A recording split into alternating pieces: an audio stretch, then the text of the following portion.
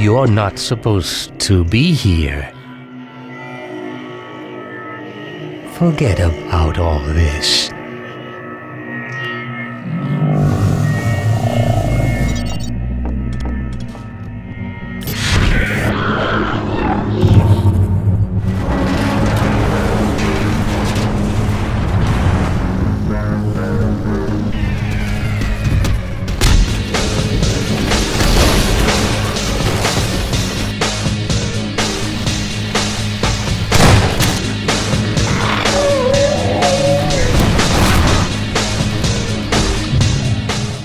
Our cause seems hopeless.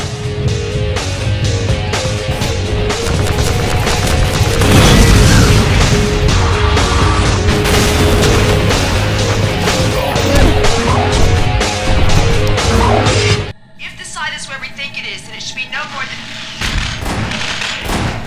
than. We should never have let her go.